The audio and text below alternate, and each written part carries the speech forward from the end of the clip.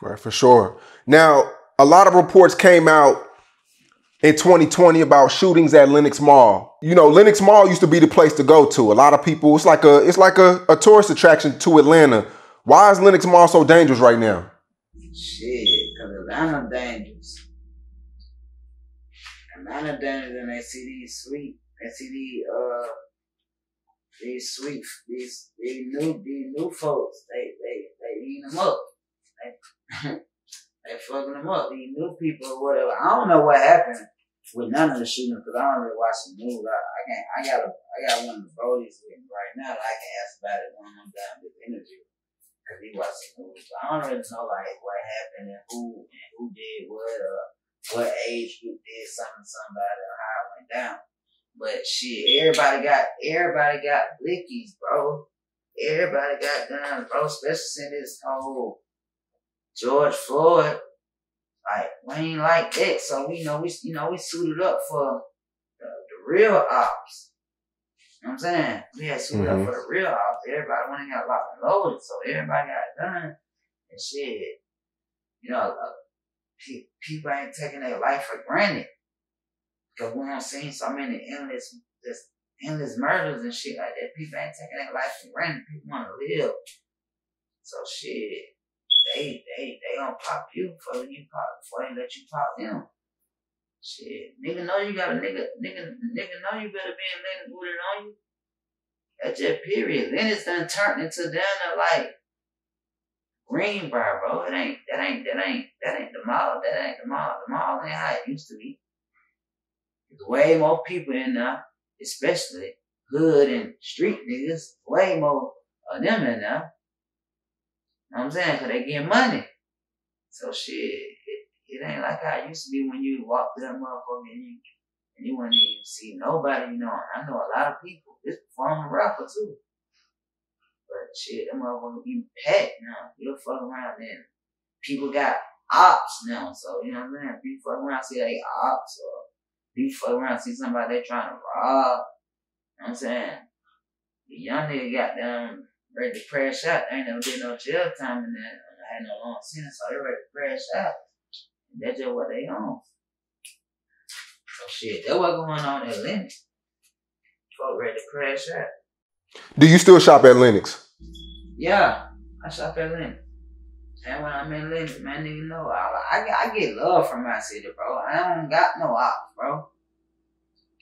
I don't got no ops in my city, bro. I'm like, I get love in my city, bro. I mind my business, bro. My name Bennett, and I ain't in it. You know what I'm saying? So I just got down, mind my business, bro. I don't, I don't speak on other nigga business. They got ops. I don't let niggas speak about their ops around me or to me to try to downplay. So like I'm agreeing with it. No, none of that. Like I'm in my own lane and I fuck with who I fuck with. And I get love in my city because I in love in my city before I was a rapper. So I get love in my city from all over different. I ain't never did nothing like I ain't never did no lame or sucker shit to nobody in Atlanta or nobody period. Like whatever it was, it was straight up man, man business that we had to stand on.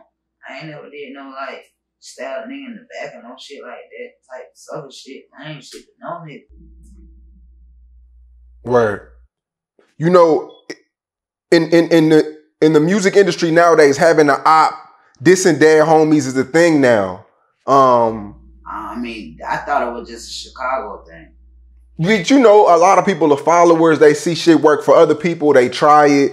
Um, but you and you and you said it, you know, a couple times this interview. You don't have no ops nowadays. Every rapper has beef with somebody.